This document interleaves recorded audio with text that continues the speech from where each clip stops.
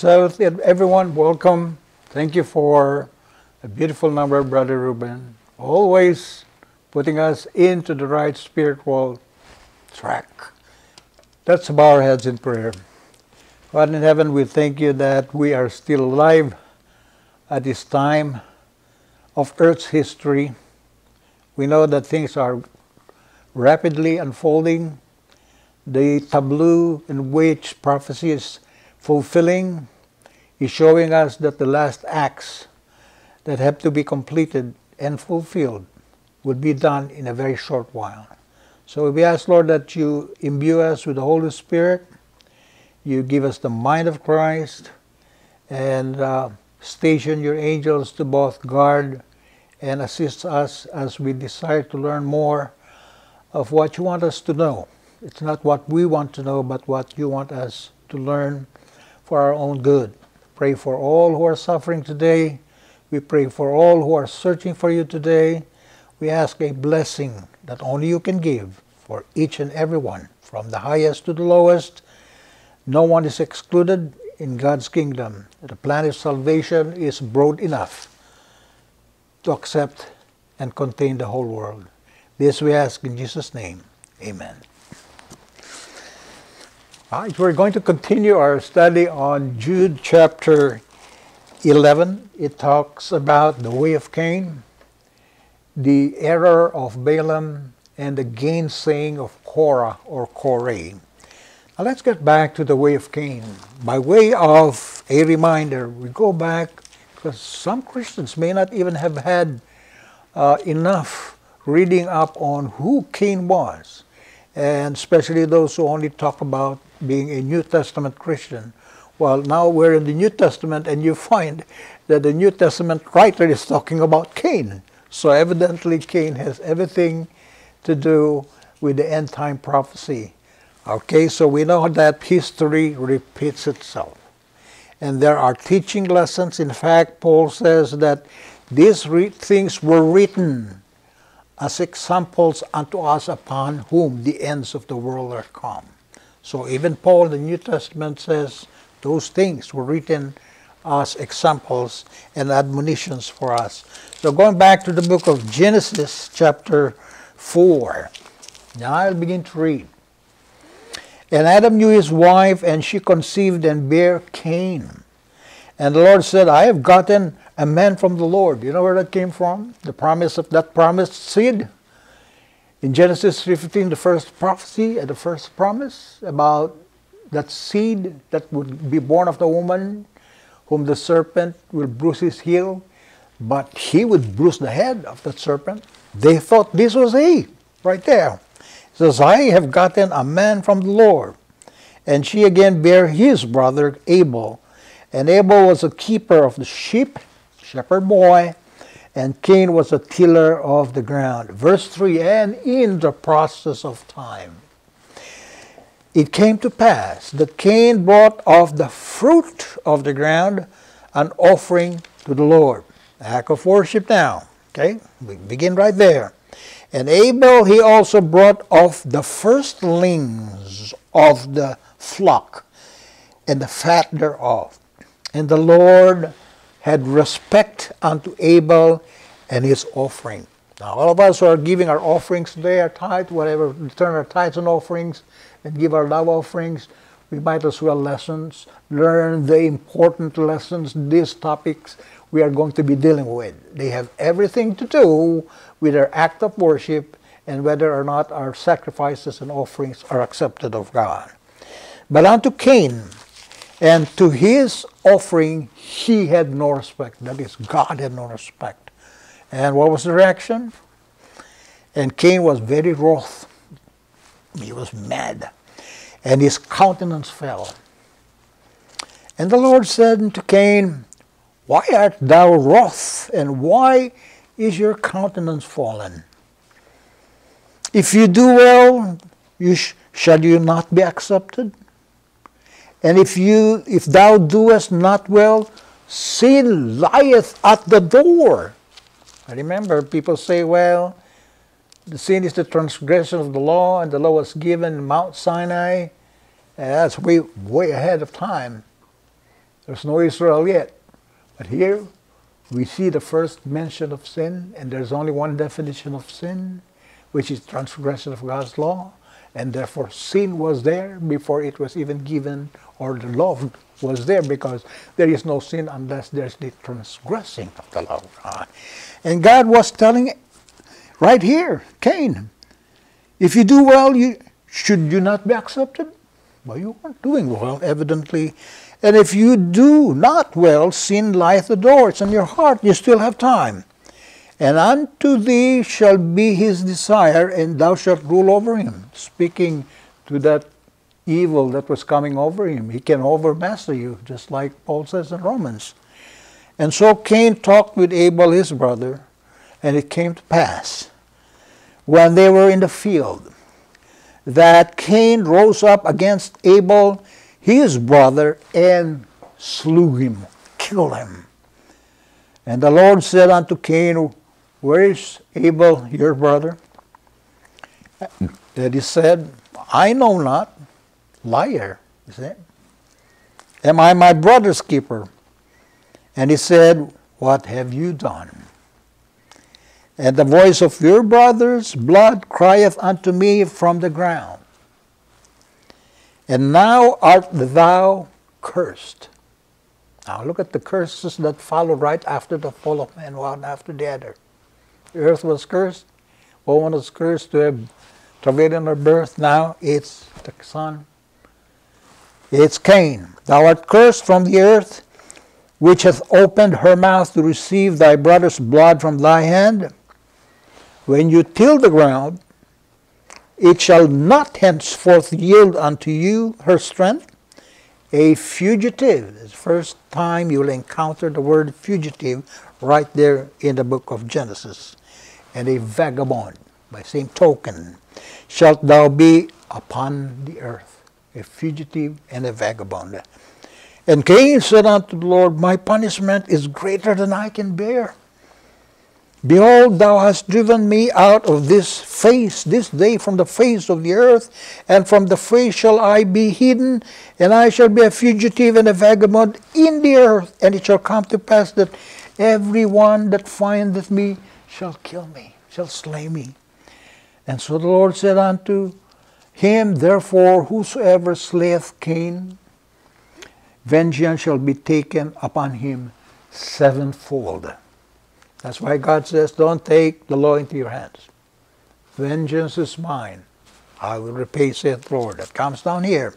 And the Lord set a mark upon Cain, lest any finding him should kill him.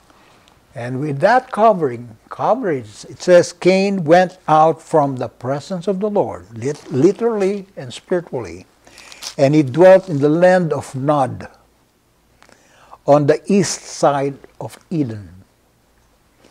And so Cain knew his wife, and she conceived and bare him Enoch. That is first Enoch there. And he built a city and called the name of the city after his name Enoch. Well, that's where it comes from. And we're going to go back to the way of Cain. Now, if you read this was a form of worship that was insisted upon by Cain in rebellion to God's specification of how he was to worship God. So the popular form and way of worship is also like the way of Cain. That's number one, it's worship focused. In fact, the very last message we have in the first angel's message has to do with the worship of God versus the worship of the mark of the beast. Fear God and give glory to Him, for the hour of His judgment has come, and worship Him that made the heaven, the earth, the sea, and the fountains of waters. Luke 14, verse 6 and 7. So, that popular form and way of worship, it's interesting here, the book Christ Object Lessons. You, everyone should have that because it explains all the parables. There are 40 of them recorded in the New Testament. The Pharisee and the publican represent two great classes into which those who come to worship God are divided. Two classes. The first two representatives are found in the first two children that were born into the world. Now you see where it harks back to? Cain thought himself righteous. And he came to God with a thank offering only. You see now the difference? He says, I want to offer you, I'm just going to thank you. The thank offering only, because it was the best of the fruits of his works. Remember, it's a tiller of the ground. This is the best I'm offering you. That's my works. He made no confession of sin, which was associated closely with the type of sacrifice that was to be offered in the slaying of the first lamb. He made no confession of sin. He acknowledged no need of mercy. He was his own Savior, not words. But Abel, he came with the blood that pointed to the Lamb of God. He came as a sinner, confessing himself lost His only hope was the unmerited love of God. And so, Bible says, the Lord had respect unto his offering.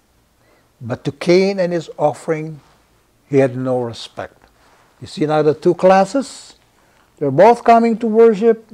One is accepted, one is rejected. Why? The sight of Cain, that sense of need, the recognition of your poverty and sin, is actually the very first condition of acceptance with God.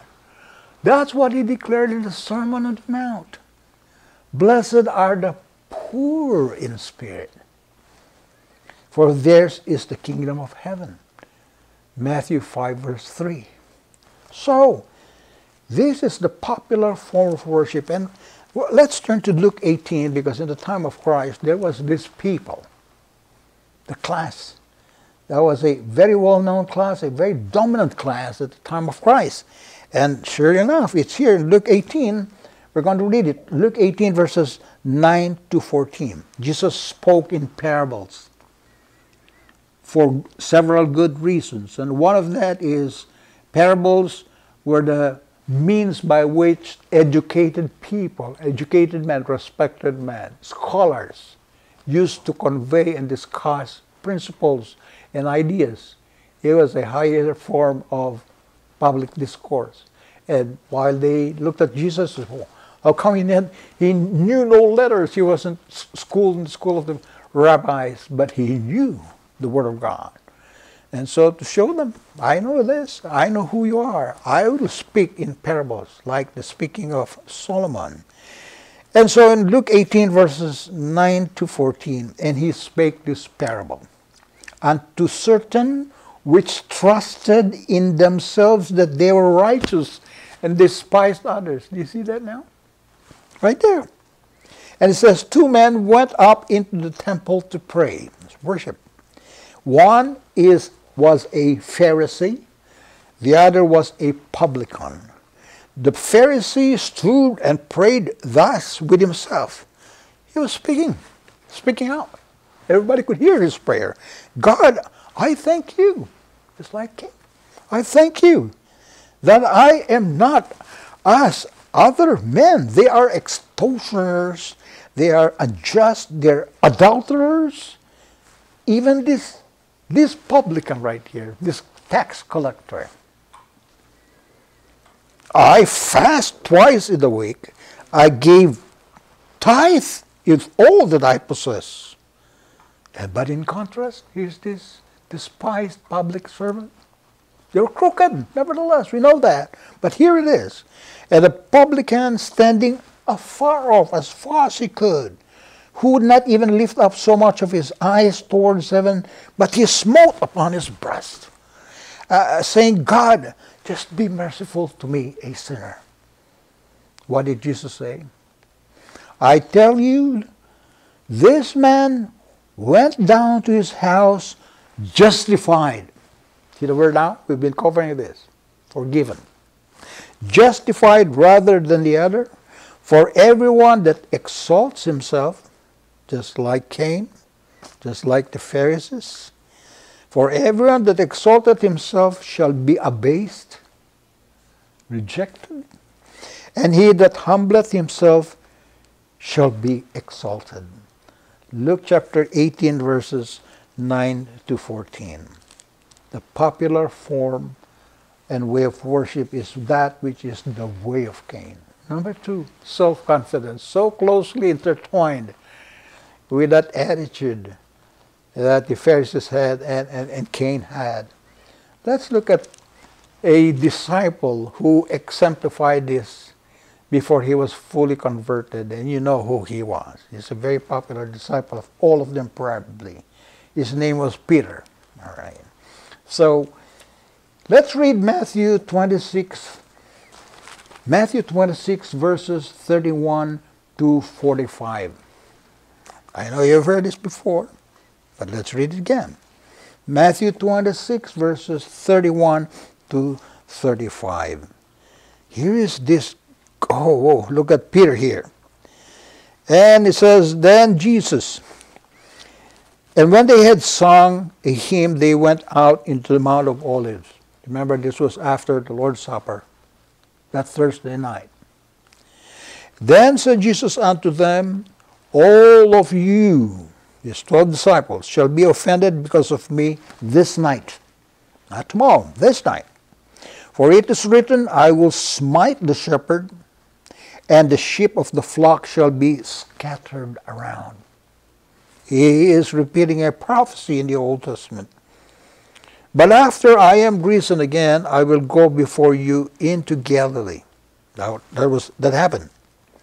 Now here he is. Peter answered and said unto Jesus, Oh, though all men shall be offended because of thee, yet I will never be offended.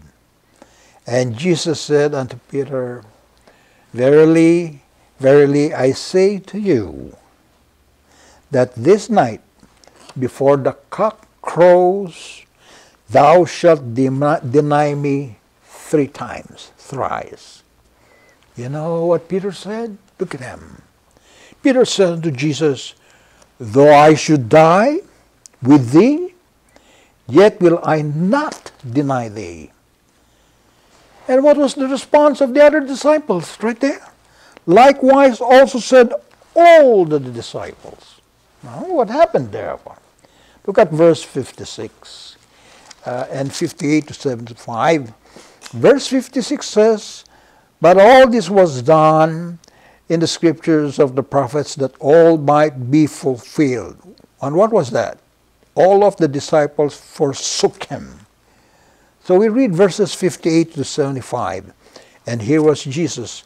And he that laid hold on Jesus led him away to Caiaphas the high priest, where the scribes and the elders were assembled. Was Peter? Hmm. Verse 58 Peter followed him afar off. Didn't want to be seen.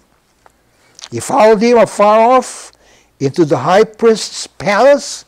He went in and quietly sat down with his servants. He, he quietly sat down and, and so nobody could see him. Okay. Now, the chief priests and the elders and all the council, they sought false witnesses against Jesus to put him to death. They found none, yea, though many false witnesses came, yet they found none. And at the last came two false witnesses.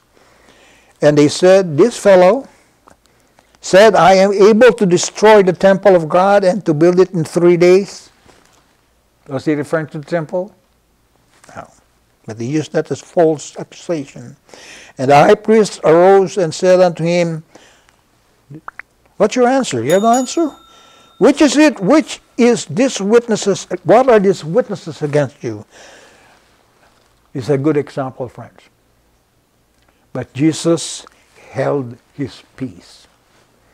And the high priest answered and said unto him, I adjure thee by the living God that thou tell us whether thou be the Christ, the Son of God. Jesus said unto him, Thou hast said it, you said it. Nevertheless, I say unto you, hereafter you shall see the Son of Man sitting on the right hand of power and coming in the clouds of heaven. Oh, then the high priest rent his clothes, saying, He had spoken blasphemy.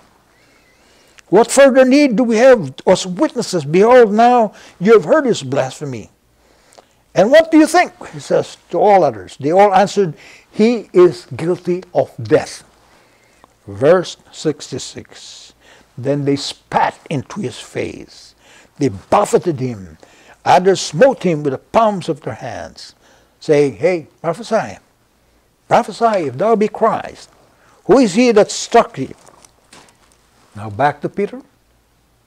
Now Peter sat without the palace, and a lady came unto him, saying, Thou also wast with Jesus of Galilee.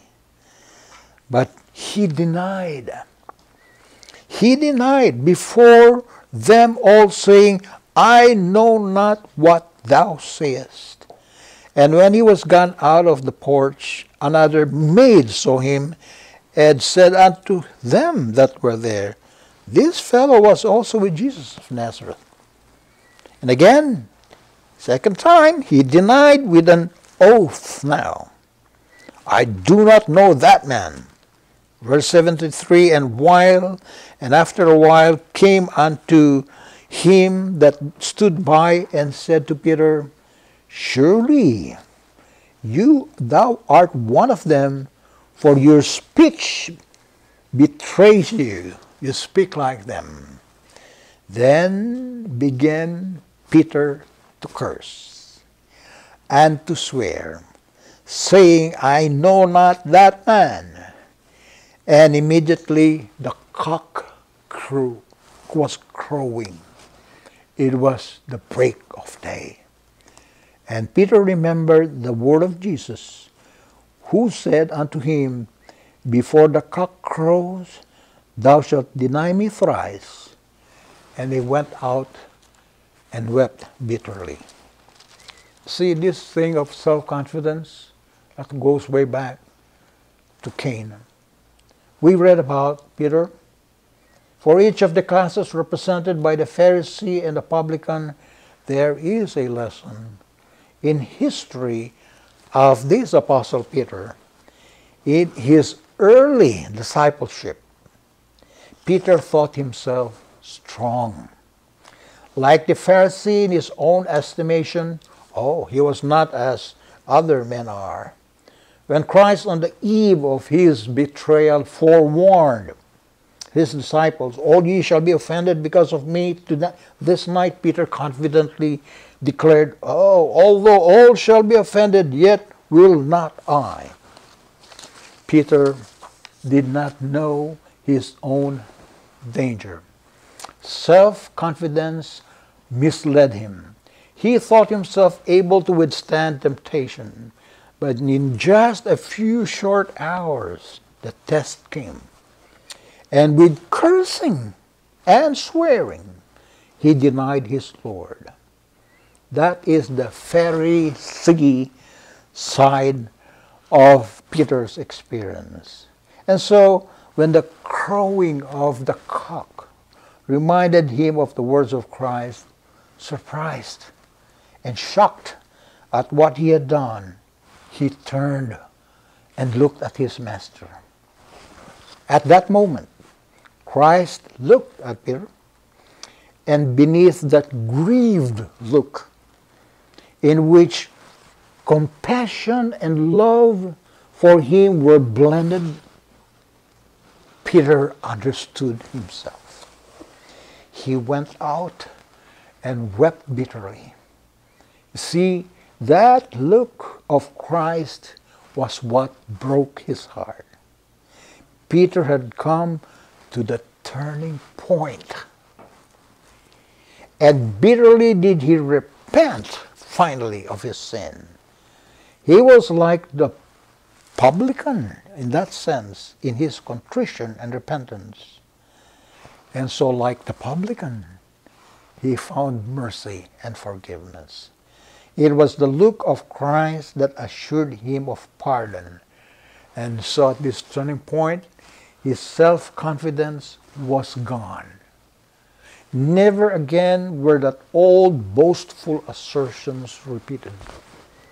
You get that from Christ Object Lessons 154. So, you know, here's, here's for those who are struggling with this problem. I think all of us have a bent on that, a weakness towards that. Some worse, some less. But all by nature have that. We have a Peter running in us. So we need to understand what self confidence does. It is fatal.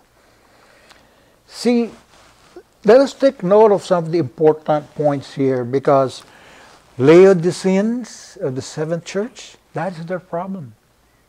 They say, I am rich and increased with goods and have need of nothing. And yet the true witness says, as the Holy Spirit, Christ and the Holy Spirit saying, Thou art wretched, miserable, poor, blind, naked. And so Sister White writes in Counsels to Writers and Editors, page 99. I, I read that book because I do write. He says, I am commissioned now to say to our brethren, those who are aiming their weapons of warfare against their fellow brethren, thinking they're doing God's service. What was her warning to them? He says, Humble yourselves, confess your sins, else God will humble you. You know, don't let God humble you. You won't like it.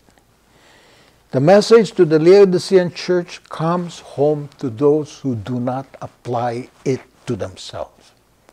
I had to underline that. And I read the Laodicean message, I says, that's for them. And when I read this, I says, whoa, that's for me. Then it had efficacy. It did its work. It's humbling. You see, Satan's object is from notebook leaflets from the Elmshaven Library, page 110. Satan's object is accomplished just as surely when men run ahead of Christ and do the work he has never entrusted to their hand as when they remain in a Laodicean lukewarm condition, feeling rich and increased with goods and have need of nothing. The two classes are equally stumbling blocks. So let's look at this. There are some important points I'd like to bring forth here. See, that Laodicean message at the seventh church, Revelation chapter 3, applies to those who do not apply to themselves. That's the first, first thing we should remember. That's the purpose of that message. If we, be, if we claim to be the commandment keeping members of God's church, that Laodicean message, in fact, applies to us because it is currently, as the seven churches show us, in that condition in Revelation chapter 3. The second one is whether it is a Laodicean or the one running ahead of God's timetable, they are equally stumbling blocks. You see, a lukewarm Christian is not the same as a fanatical Christian. And yet, they belong, uh, I would say, they belong to the same boat or the same ship, only they're occupying different decks. But that ship is headed nowhere. It's probably sinking.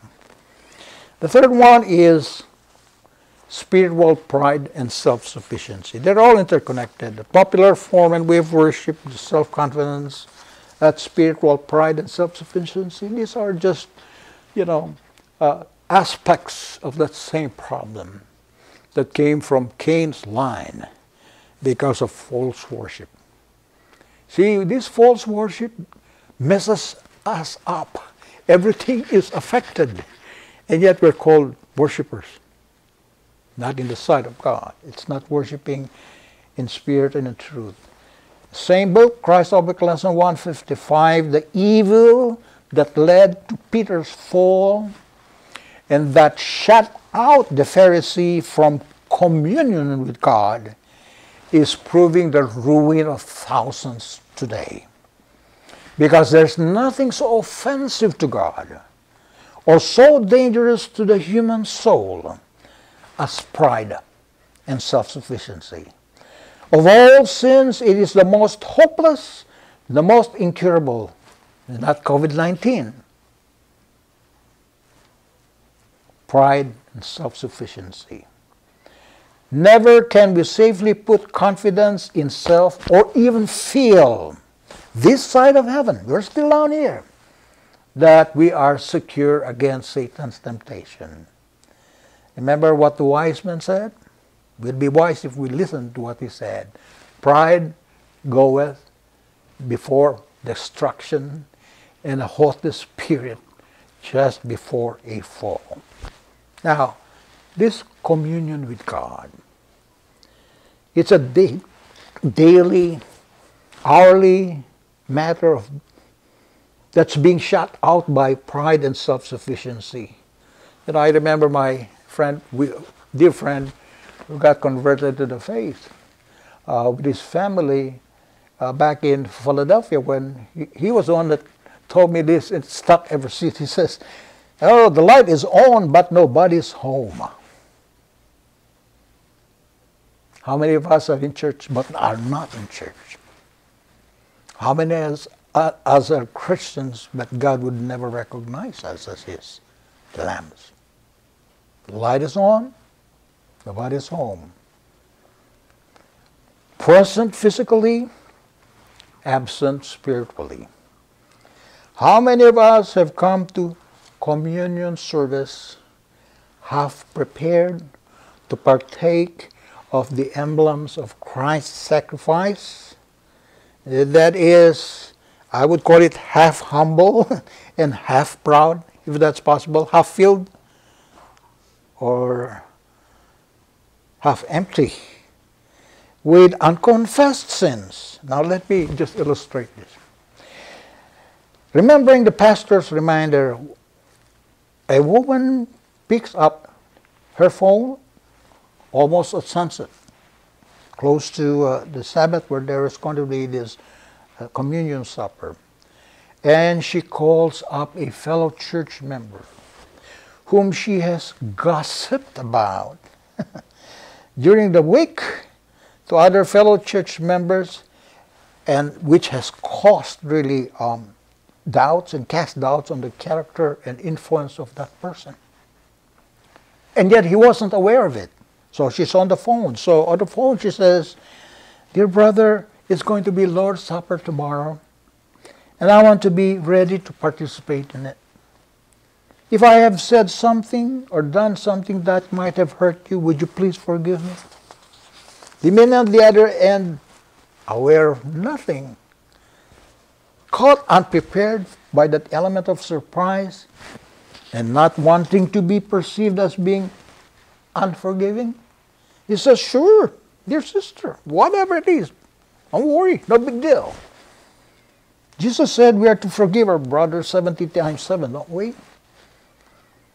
But you know, the testimony of Jesus, which is the spirit of prophecy, counsels against this popular kind of self-justifying general confession. Steps of Christ, page 38. True confession is always of a specific character and acknowledges particular sins. Why? Because they're recorded as such. They may be A, of such a nature as to be brought before God only, secret sins.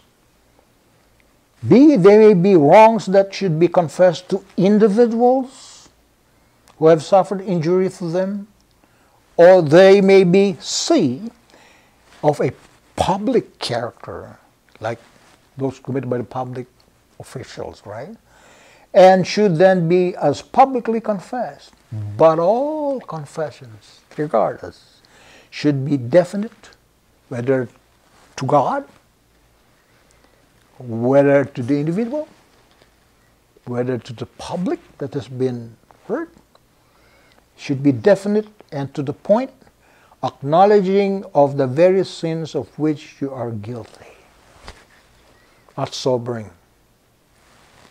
Many are Laodiceans who are living in spiritual deception. That was what Cain's way was. They clothe themselves in the garments of their own righteousness, imagining themselves to be rich and increased with goods and in need of nothing, when they actually need to learn daily of Jesus, his meekness, his lowliness, lowliness, or else they will find themselves bankrupt, their whole life being a lie. Ever see what Paul wrote about? They are living a lie. So I'll bring this study to a close because we will continue on this series and you'll find that there's so many practical lessons right here out of this, yeah, Cain, Balaam, and Korah. Pretty much it covers those three major temptations that Jesus dealt with in the wilderness of temptation to a large degree. Okay, so let's ask the Holy Spirit to bless us and as we continue to keep the day holy. Let's bow our heads. Father in heaven, we thank you so much for the wisdom of God, the Sophia, which you gave to Solomon and you're willing to give to us. You gave it to Daniel, Shadrach, Meshach, and Abednego. And you're more than willing to not only uh, give us a part of it, but all of it, especially in these last days, to shine, to obtain wisdom in all spiritual things, including prophecy, which many people don't understand, and to the extent that the little they understand is so confusing that it actually not only um, tramples upon the truth, but really contradicts the truth, and therefore it's become an instrument of the enemy against the truth. Help us, Lord, to be wise unto salvation. Bless all who are suffering today. Strengthen our faith.